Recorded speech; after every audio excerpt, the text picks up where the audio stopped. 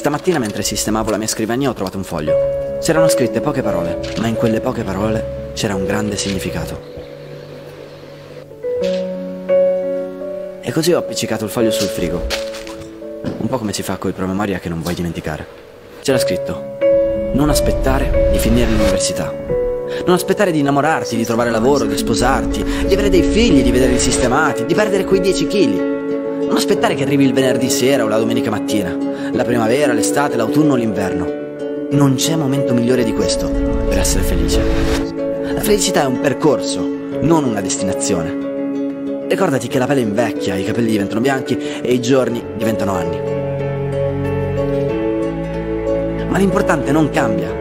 La tua forza e la tua convinzione non hanno età. L'importante è che dietro ogni traguardo ci sarà sempre una nuova partenza e dietro ogni risultato una nuova sfida.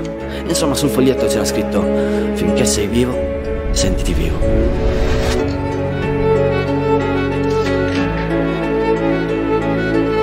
Beh, poi ovviamente uno ci legge ciò che vuole.